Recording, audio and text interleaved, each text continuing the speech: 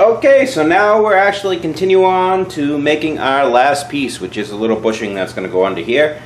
I was planning on having this done sooner, but uh, my daughter was born uh, two weeks ago, so I've been going on that adventure. So now I have some time at the shop. My wife has allowed me some time in the shop to finish up this project. Let's put it that way. So, uh, after the last video, I actually went, I actually knocked that off on my bench. And then I went back in here and I decided that the gap right here was too much. It was just way too big. And if we're going to go through all this trouble, why have a sloppy looking dial? So I went back in there and readjusted it and I got it to pretty much take a 5000 shim in there and that's our gap. That allows us to spin perfectly fine.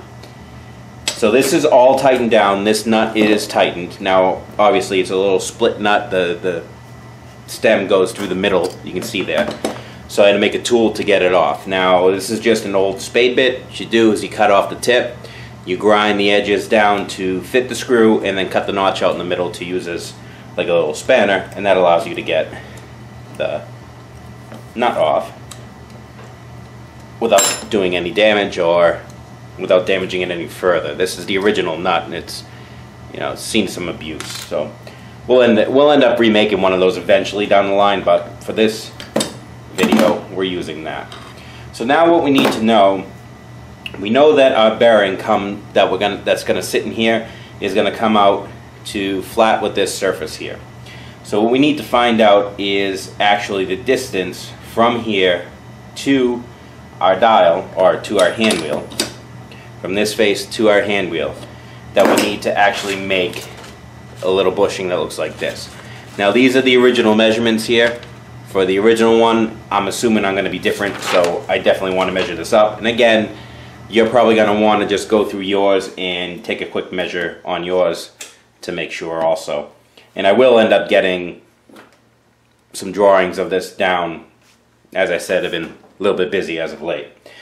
So, let's attach this and tighten this down.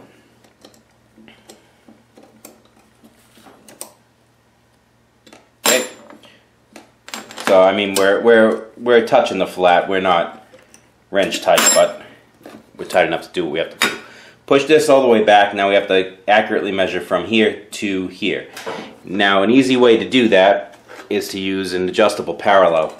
And these are kind of invaluable. You'll most likely be using these more as a transfer tool for measurements than you ever will as an actual parallel. So we're going to stick one in here and we're going to have it touch that face and touch the shoulder of this. Give it a little squish to make sure everything's compacted.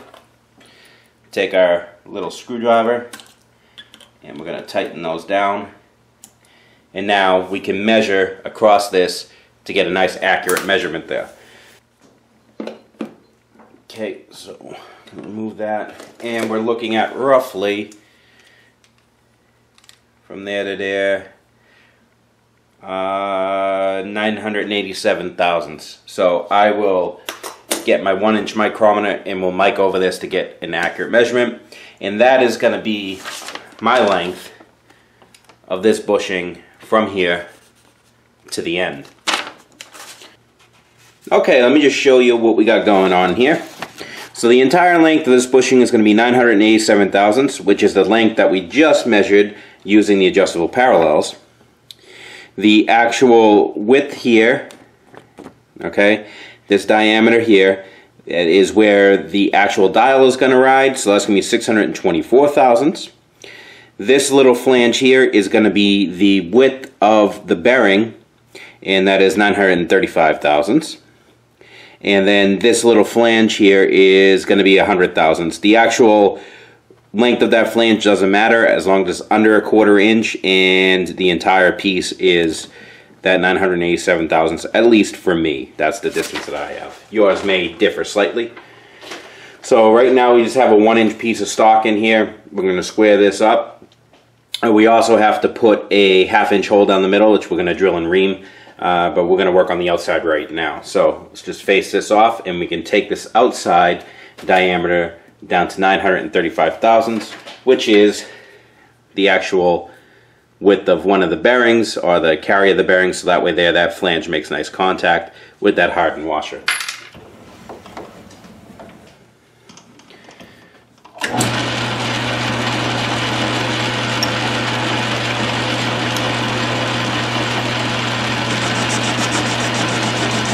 And again, we're doing this on the 9 inch with the collet chuck just because it's way easier doing it like this.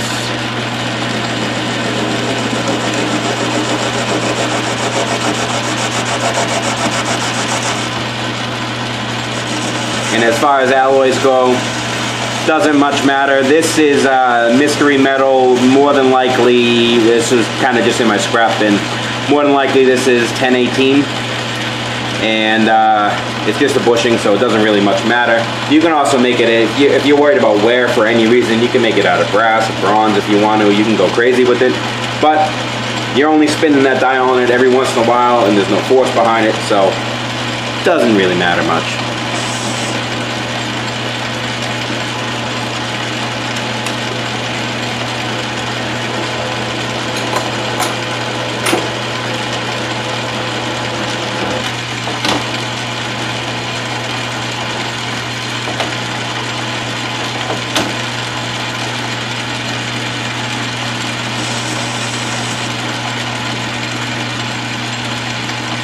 50 at 53.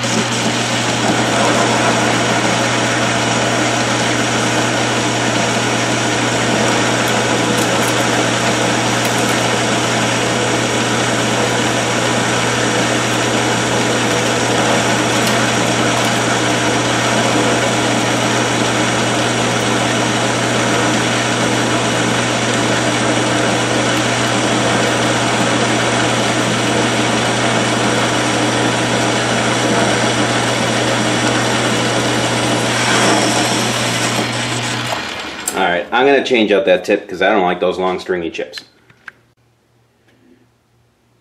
Okay, so we have this at 935 thousandths. Our next diameter is 624 thousandths, and we want that.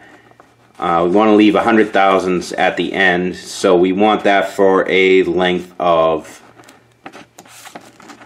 uh, 887 thousandths. So 987 thousandths from front to back minus the 100 thousandths flange leaves us 100 thousand. So uh, let me get my carriage indicator in place here. Okay.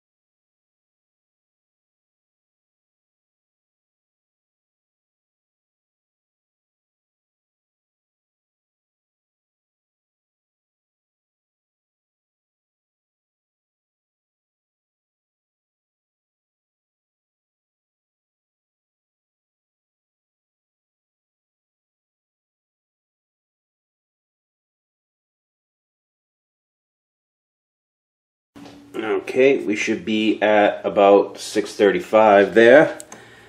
Pretty close. And we are at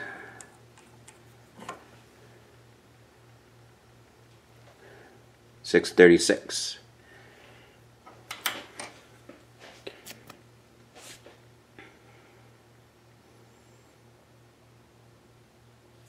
So I'm going to go ahead and take ten thousandths.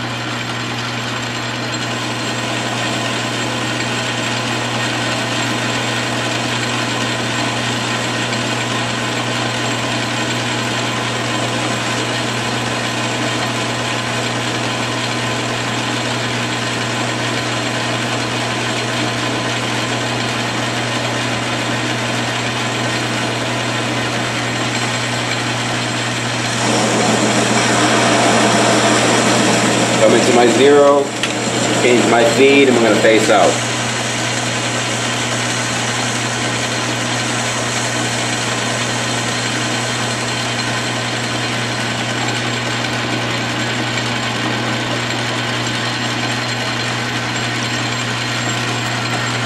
Okay, it's going to break this edge and break this edge here.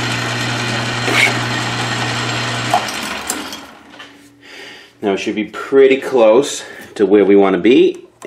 And we are at six.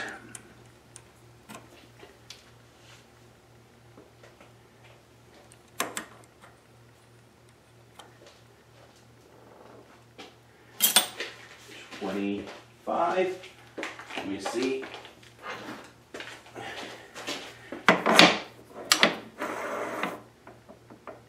There it is.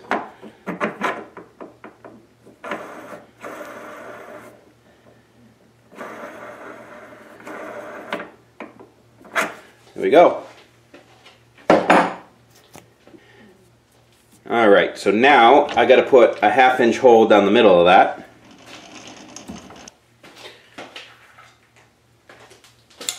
Okay. I'm to drill, center drill.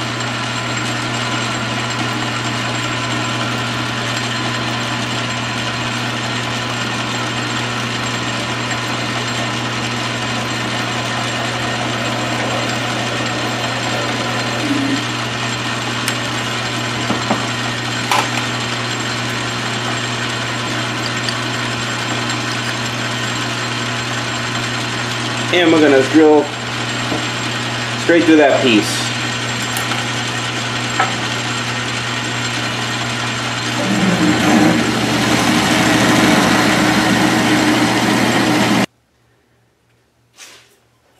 Alright, so I have that drilled and is reamed. Now we're ready to part this off. Okay, so now we're getting ready to part this off.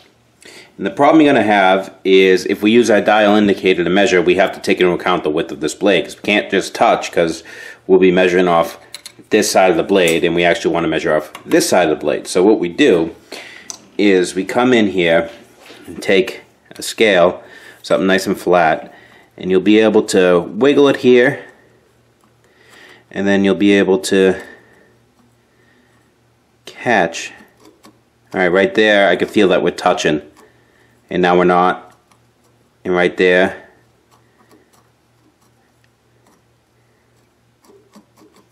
Right there I can feel that we're touching that blade.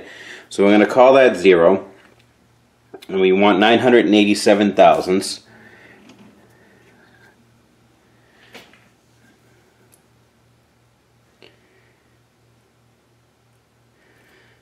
One, two, three, four, five. 987 is right there. And we can kind of confirm here that we're just about where we want to be. And what I'm going to do is because we're going to end up facing this off and I'm going to take an extra 5 just as a little bit of insurance because we're going to end up facing this off anyway. So I can just face off that little bit of extra. And this way here, we're just playing it safe is all. Lock the carriage down.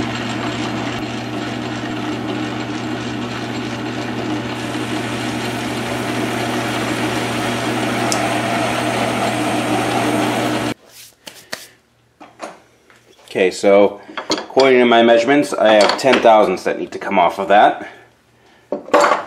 So I'll just put it in the 7 16 collet. Get my turning tool.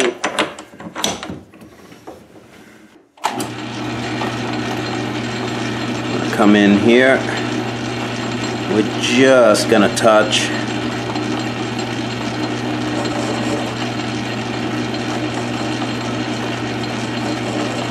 We're just nicking right there.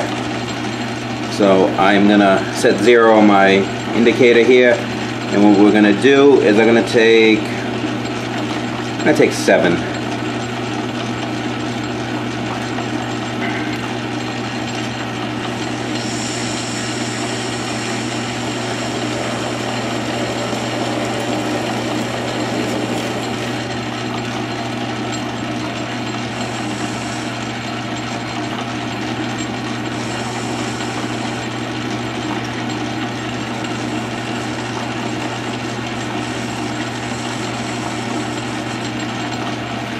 Here.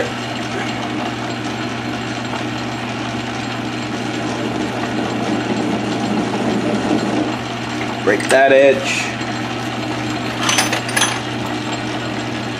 And break that edge.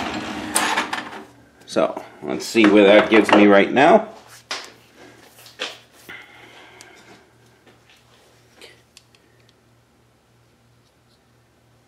We are actually at 987 on the nose.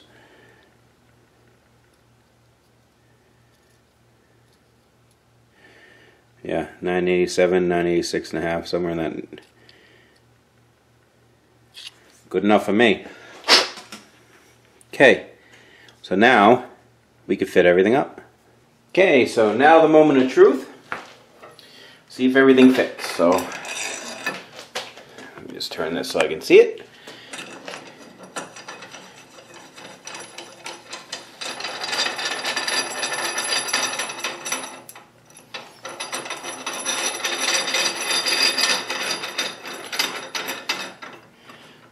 goes in there.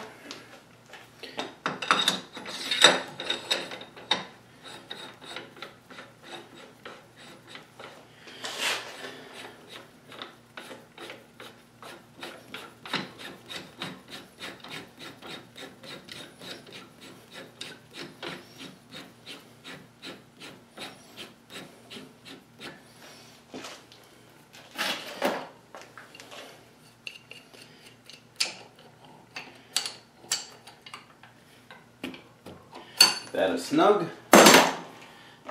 Then put on the other bearing. Then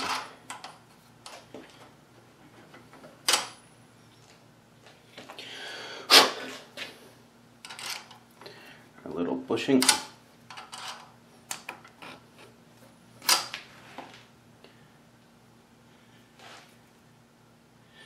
There's a burr on this edge here. There it is.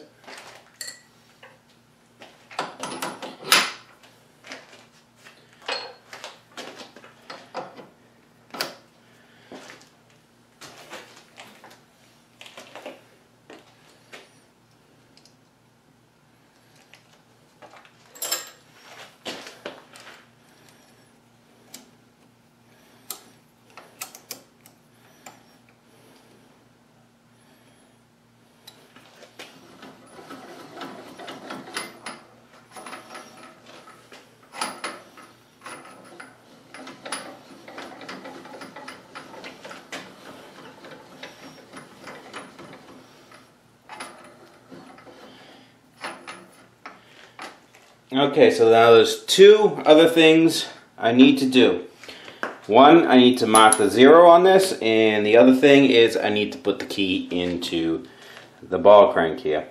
Now, I don't have, I didn't have a, a, um, a ball end mill small enough to be able to do it on the mill, so I'm just going to do it by hand. Not a huge thing. And this here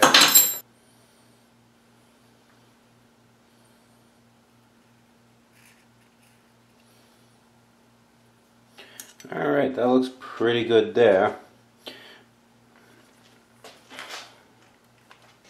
Okay, so now all I have in the mill is a scribe and I use my DRO to find the center and I set this in a collet at the same orientation that it is on the lathe so we can get that line right in the center. I don't have an end mill small enough to make a slot in this. You can also do this on the lathe by doing it basically the same way and using a 60 degree threading tool or uh, or something like along those lines in your in your tool holder and just run it sideways across it this way. So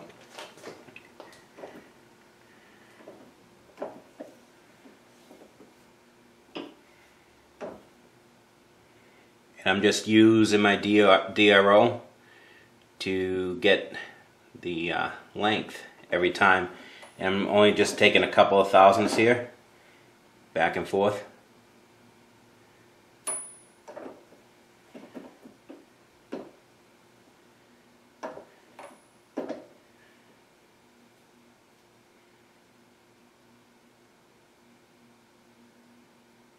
Okay, now we got that little slot in there. Now time for the last little finishing touch.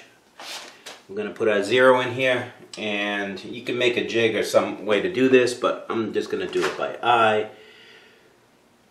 Should be okay with that.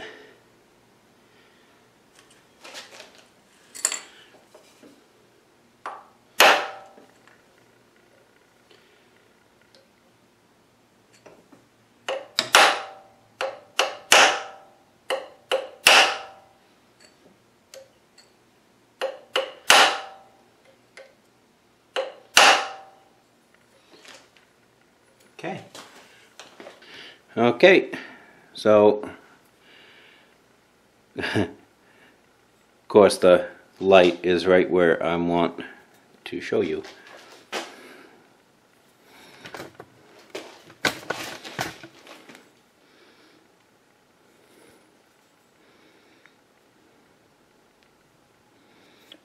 Okay, so our last little thing is here's the original screw, and you can see there's a slot right here. Now what that is, is that takes an eighth inch pin, and that basically locks the hand wheel to this shaft so that it can't move. So I don't have an eighth inch ball end mill, which is the easiest way to do that. But what you can do if you don't have that, is you put the handle on there, and that hole sticks out beyond that a little bit. Get yourself an eighth inch drill bit, very carefully,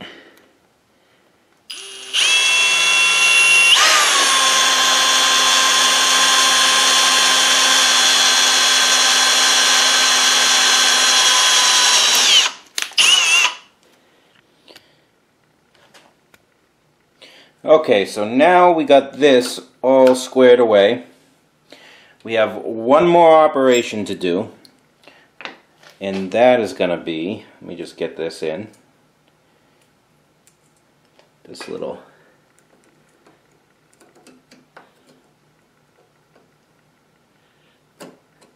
Alrighty, that's in there.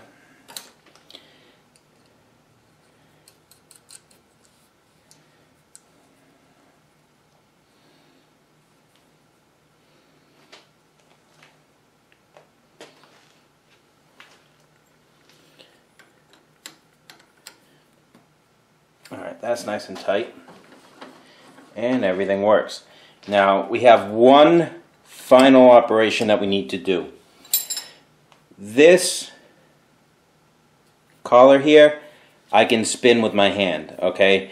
We don't want that to move. This dial is big enough and heavy enough that it's really easy for that to turn on the shaft. So we actually have to take and we have to pin this collar to that shaft, but we can only do that when everything is together because we need pressure on it. We need everything to hold it in place. So now that everything is in place, I can go ahead and take this out here. Okay, so the setup here is we're getting ready to drill for an eighth inch roll pin.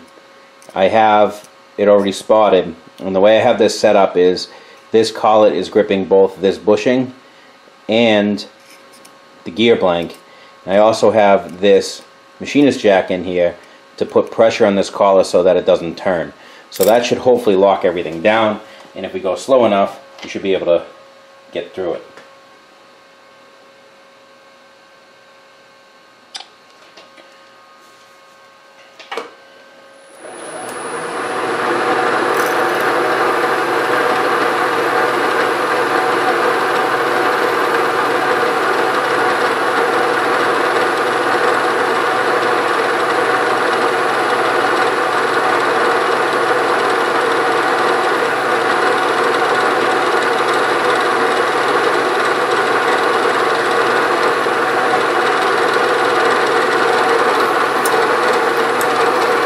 and we are through.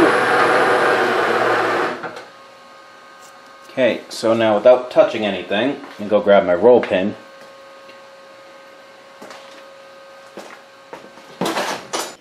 Alrighty, final assembly here.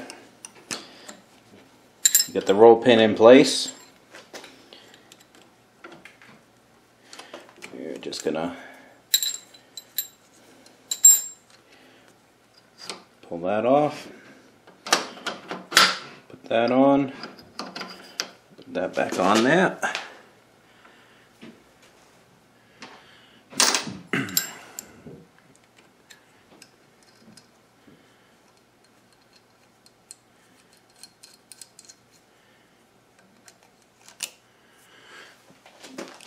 Put on the nut. make Sure she's nice and snug. Okay, so that's snug in. Can still spin fine. What we're going to do is we're going to take that's just a piece of brass in there and here's the screw.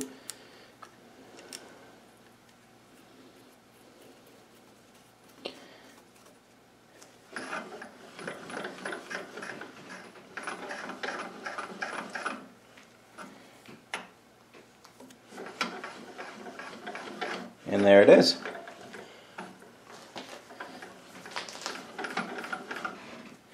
So now our actual backlash in our worst part of the, of the saddle, which is probably right about there. So I'm going to set zero. Is now, actually, come back around to zero. So before I was getting like 50, 55. Now getting like 9 or 10. Yep, between 9 and 10 there. That's my back. So significant improvement. And that's still with the worn nut. So we're a little stiff on this outside edge here. But that's probably from that's from the gib more than anything. So our project is complete. We now have a large dial and when I cinch this down hand tight, it takes a decent amount of force to move it, so I'm not going to accidentally hit it.